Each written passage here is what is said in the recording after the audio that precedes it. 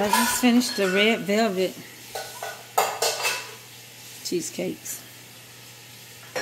And they're doing good. They turned out good. Different marbleization on them. I'm going to keep this one here. It didn't have enough.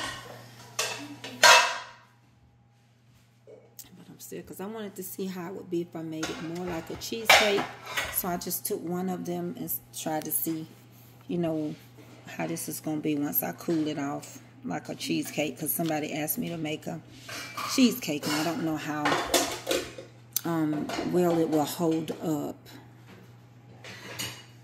And I think doing a cheesecake when I would have to uh, do a water bath. Uh oh sorry about that. So the red velvets have come out now, y'all.